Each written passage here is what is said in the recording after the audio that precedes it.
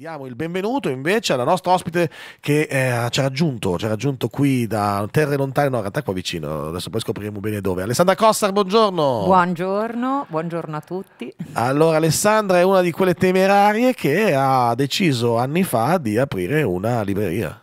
Esatto. Però oh, funziona alla fine, vedi? Si ah, può fare. Come si diciamo. può fare, sì dicevo, ci hai raggiunto chissà da dove, no, in realtà siamo, siamo vicini perché siamo sempre comunque qui nel, nei, nei, satelliti dello stadio di San Siro, diciamo, no? Ricordaci dov'è la tua libreria. Allora, San Siro, quasi all'ombra dello stadio perché sono in via Capecelatro e in una zona che è di stampo prettamente residenziale. Quindi, come dicevamo, temeraria no, però sicuramente in una controtendenza perché le librerie sono leggermente in sofferenza, prevale un po' quest'idea di portare delle realtà di quartiere che siano anche d'aggregazione. Quindi. Eh, infatti, ne parlavo mm. prima, leggendo anche nei giornali, insomma, di come ormai è fondamentale fare questo tipo di aggregazione, ma non solo, cioè non è una mera trovata commerciale per vendere un libro in più, ma è proprio per far diventare quel luogo qualcosa di diverso quasi, no? Sì, esattamente, anche perché c'è una gran sete di aggregazione, soprattutto in alcuni quartieri dove l'offerta è tutto sommato abbastanza ridotta e, e questo oltretutto è riferito a tutte le fasce d'età. Abbiamo detto dove, non abbiamo detto come, però come si chiama la libreria? La libreria si chiama Libri e Collane d'autore perché nasce da un gioco di parole, un bizzarro ecco. gioco di parole. Che si può capire anche vedendoti con quello che è al collo, possiamo collegare le cose? Lo possiamo collegare anche se non voglio essere autocelebrativa perché effettivamente faccio gioielli, ma le collane sono in realtà le collane editoriali. Okay. Quindi questo è per dare insomma sempre un tributo alla parte più nobile della questione, però effettivamente anche i gioielli lì creano e hanno un loro ruolo molto preciso. Beh, insomma, eh, le, le, leggere con stile ci può stare, no? Perché secondo me devo leggere sempre in pantofole, posso leggere anche con un bel gioiello addosso, no? Volendo. Assolutamente. Aggregazione che è diventata fondamentale appunto diciamo per le attività come la tua, anzi che creano l'aggregazione di attività come la tua. Eh, la cosa interessante è che appunto in un quartiere prettamente residenziale poi si diventa punto di riferimento spesso e volentieri però.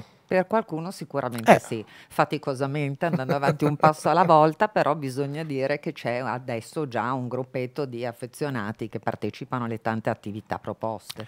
E allora di queste attività, di queste mm. tante attività ce le racconti oggi perché ce n'è una che sta arrivando, anzi velocemente dimmi quella più prossima che proprio è domenica, no? giusto che si inaugura. La più prossima, allora domenica avremo l'inaugurazione di una mostra d'arte, anche se già oggi nel pomeriggio avremo ospite ah, comunque un'autrice in libreria che ci parlerà di poesia. Non quindi... ci si ferma mai. mai, quindi, mai. Cioè, qua, no, qua pronti a dire, ok, no, raccontiamo bene cosa succede domenica. No, ma aspetta, ferma, perché oggi, venerdì, a che ora? Appunto, proprio raccontiamo meglio. Alle ore 16.30. Ecco, vedi? Chi, chi viene a leggere? Elena Diomede ecco. con Ededalo e me, anagramma del suo nome, raccolta di poesie. Ah, bene. Allora, adesso poi ce lo racconti meglio dopo la prossima canzone, perché appunto capiamo come il calendario invece è fitto di appuntamenti e potete appunto passare di lì via Capecelato, giusto? Numero 75. 75 all'ombra dello stadio di San Siro finché c'è eh, vabbè che tanto adesso se non ci sarà più quello ci sono le, colle, le, le torri che, che, stanno costruendo di fianco quindi va bene. E poi comunque passate e conoscerete sicuramente una realtà interessante di cui appunto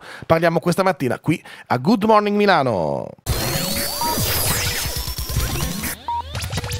Snap, Rhythm is a Dancer, 8 e 14 minuti, anzi quasi 15, Crystal Radio, venerdì 18 ottobre. Parliamo di libri e di collane d'autore, e anzi della libreria appunto, libri e collane d'autore di eh, Alessandra Cossar. Um, oggi eh, dovevamo parlare appunto di un evento che ci sarà nel weekend, ma poi insomma parlando veniamo a scoprire che ce ne sono non uno, ma ben due prima del weekend in realtà, giusto? Due bene oggi oltretutto. Complimenti, esatto. il giorno che voi piove c'è lo sciopero dei mezzi, proprio ti piace fare le cose difficili difficile Alessandra. Mi piace andare controcorrente e devo dire ringrazio gli audaci che riescono comunque a vincere queste ostilità. Quindi a che ora iniziamo oggi? Alle 16.30 avremo appunto la presentazione di questa poetessa, di questa raccolta di poesie Dedalo in me, che invito sicuramente a conoscere soprattutto agli appassionati di poesia, mentre proseguiamo la serata, questo alle 18, con il nostro consueto cabaret letterario. Cabaret letterario, cos'è? Cos'è? Cos'è? Raccontamelo. Il cabaret letterario è un incontro che noi abbiamo una volta al mese, che è una sorta di circolo della lettura e non solo, quindi non si è obbligati a portare un libro, ma gli iscritti portano, legati ad un argomento che lanciamo, che in questo caso oggi non a caso sarà ovunque può esserci poesia, ognuno può portare, che sia uno scritto, un'opera d'arte o musica che possa evocare l'argomento e poi c'è un'autrice che tira le fila e c'è un dialogo intorno a questo argomento del giorno. Mm, bene, mm. bene, bene. E, e, e, si ride anche, no? Non, cabaret nel senso... Non, diciamo o, più, o più cabaret nel senso di paste? Lo chiamiamo, lei... no, è cabaret perché in realtà c'è un po' di tutto, ah, c'è un'alternanza okay. di tanti argomenti e c'è insomma dal serio al faceto. Ecco, ah, diciamo. bene, bene, bene. Ma adesso invece arriviamo a quello che succederà appunto nel weekend, perché nel weekend si apre, io dico l'ennesima, nel senso buono del termine, esposizione mostra tuo, nel tuo spazio, no? perché spesso ne, ce ne sono tante, no? Questa volta è il turno di chi e di che cosa? Allora, questa volta è il turno di Milo, che è un artista bresciano, okay.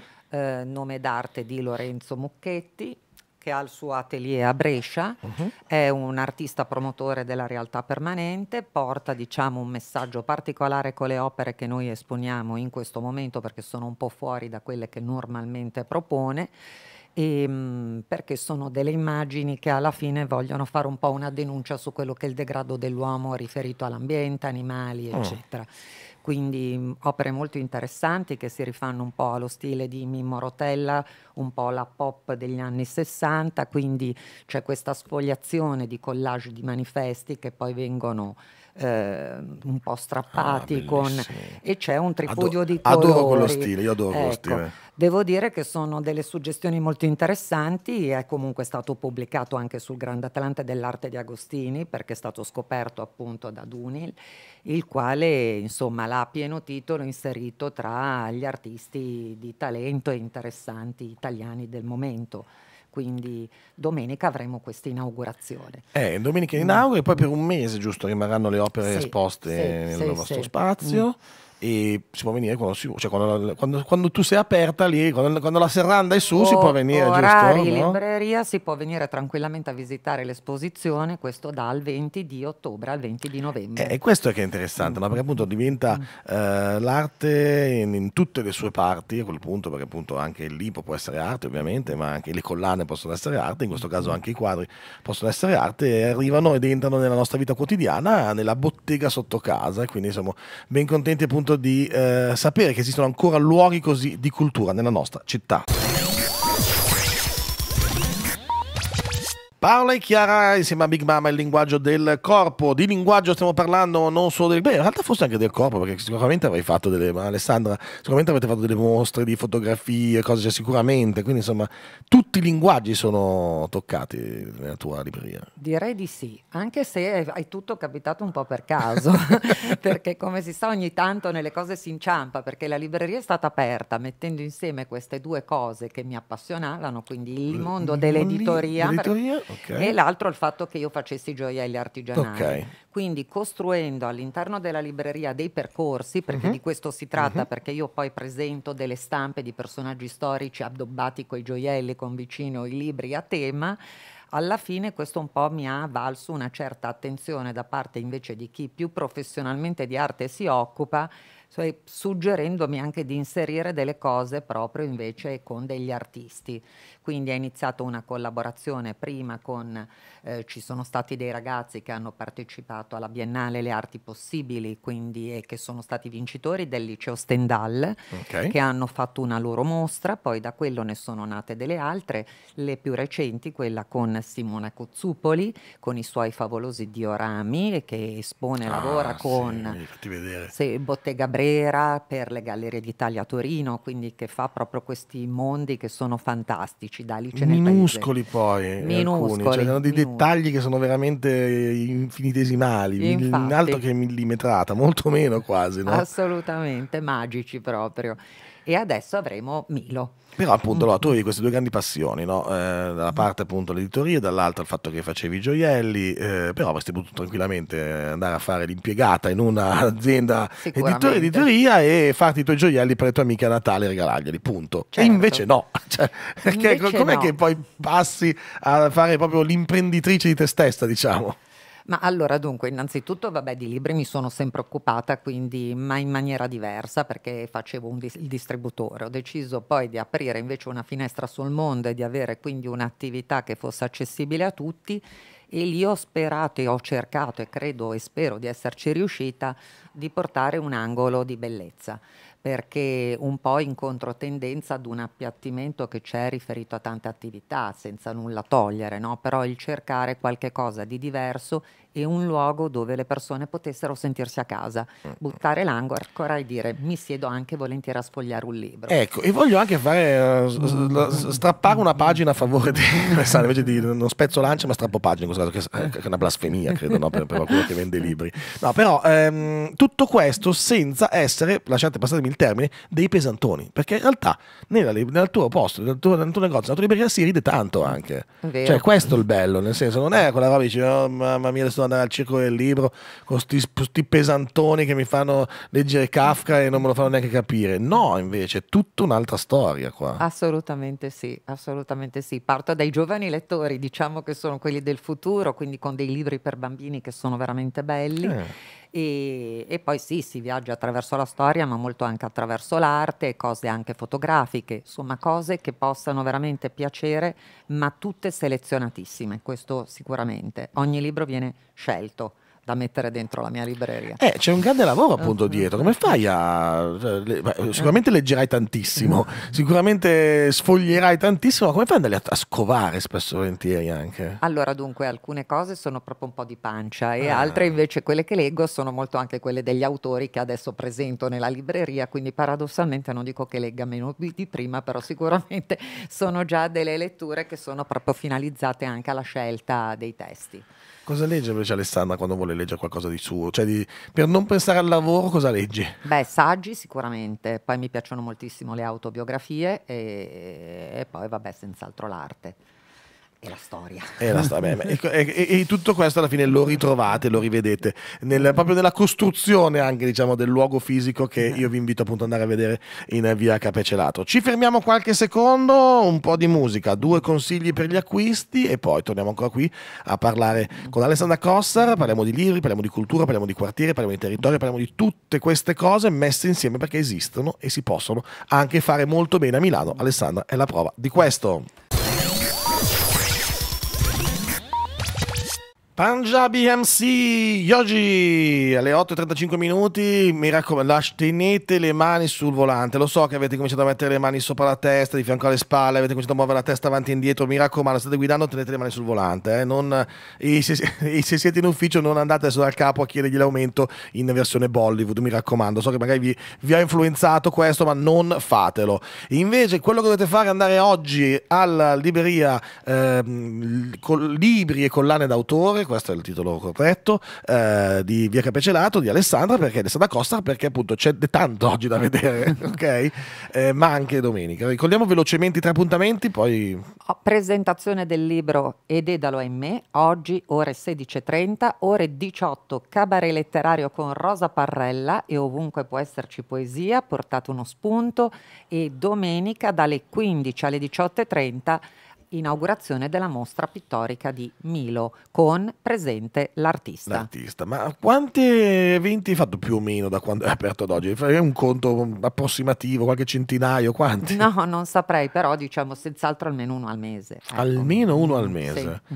Bene, almeno uno al mese. Ecco, ma mm. mm, come nasce l'interesse per certi tipi di, di, di, di eventi che fai? Allora, uno è nato proprio dall'impostazione stessa della libreria okay. che in realtà è mm, costruita con delle scenografie e l'idea è proprio quella di poter portare delle, degli artisti anche magari a livello semplicemente di stampa, di poster e facendo degli allestimenti, dando l'opportunità anche ai più piccoli di arrivare in una libreria e girare tra gli scaffali come se fosse una mostra. Questo, e queste sono scenografie però che io faccio. E, e, poi ci sono quelle più nobili e quindi invece con artisti autentici che vengono con le loro produzioni e quindi si presentano. Diciamo che alla scenografia si aggiunge anche la sceneggiatura in quel caso. Esattamente, okay? esattamente. si va proprio in scena. sì. E tutto questo voi penserete, no, beh, è ovvio, tutto questo in un grandissimo open space di 400 metri quadri. Quanti metri quadri è la libreria? Molto piccola, purtroppo, è il suo limite. Però posso dire che, eh, ma ah, vedi, tu dici purtroppo è il suo limite, ma invece è il suo bello, no? eh, sembra che, eh, c'era questa cosa, non so chi, chi di voi è passato di Dottor Wu c'è il TARDIS, che è questa navicella con cui lui viaggia, che è una cabina del telefono vista da fuori. Poi quando si apre la porta dentro è gigantesca, la battuta classica è, è più grande dentro di come è fuori. E, e in realtà quando si... Cioè, da fuori è una vetrina. Farò una battuta, Poi dico che è più grande perché è fatta grande da chi c'è dentro. Vedi? Oh, bravissima. Poi quando si entra davvero sembra immensa, sembra, sembra sconfinata quando si entra dentro. Come si fa a fare questa magia? No, la magia non si sa è perché tutto viene nascosto sotto i tavoli, sotto... per fare spazio poi alle persone che arrivano che quando effettivamente le proposte sono interessanti sono anche disposte a stare abbastanza appiccicate. Ecco, quindi se uno riesce a superare questi limiti poi è un salotto accogliente, io spero almeno e almeno da quello che mi viene riconosciuto, quindi quando dico fatta grande da chi c'è dentro non intendo me, ma naturalmente Ma dai che frequentatori, arrivano. quelli che arrivano e che arricchiscono quello che poi è la proposta. Diciamo appunto che il quartiere in cui sei inserita è un quartiere prettamente residenziale, cioè c'è pochi, Sì. qualche negozio vicino a te, pochi, ahimè alcuni chiudono anche. E eh, come era esposto però il quartiere appunto? Cosa, quando ha detto "Ah, cioè, oh, adesso ci aprono una tintoria, invece poi ho visto che aprivano una libreria, com'è che è andata? Cioè, Ma allora dunque San Siro, come poi tutti i quartieri, alla fine è come se avesse una sorta di brace che arde sotto la cenere, così come io che da sempre vivo lì, in realtà ho avvertito la necessità e ho sempre pensato che ci dovesse essere qualcosa, ho detto ci sarà qualcun altro come me con le stesse necessità. Quindi io ho detto perché andare lontano da qui? Gioco in casa e cerco di portare una proposta che arricchisca il quartiere. L'ho fatto anche un po' egoisticamente, forse per me stessa, no? come proiezione del mio desiderio e di fatto qualcuno in effetti questa necessità l'aveva e la risposta c'è. Eh, per la risposta c'è, perché appunto questi eventi, come dicevamo, poi oh, pigi, pigiati, pigiati, ma poi il pubblico in realtà c'è e la gente viene a frequentare, no? Che, che è la cosa più bella, che non sono solo clienti, ma appunto sono frequentatori, che è ancora più bello. Continuiamo con un po' di musica e poi continuiamo qui ancora perché abbiamo ancora un paio di cose, io voglio sapere ancora un paio di cose su com'è la vita da libraia, e sono molto molto curioso, qui con Alessandra Cossar in diretta su Crystal Radio. Good morning Milano. Per due come noi, Olli Angelina Mango, qui su Crystal Radio, Good Morning Milano. Allora, al 331-7853-555 arrivano richieste di eh, dici bene dov'è la libreria, perché non hanno capito, sono persi molto probabilmente all'inizio dov'era, e quindi ripetiamolo perché vogliono sapere le coordinate GPS per raggiungere Alessandra. La libreria è in via Capecelatro 75, quindi vicinissima allo stadio. Mi si può trovare anche su un sito web che Ah. c'è, che è eh, libriecollanedautore.com Libri d'autore.com, tutto attaccato, mi raccomando. Oppure sul, su Instagram, Libri e sui Collane social, sui Su- social. Ma quanto è dispendioso stare dietro queste cose?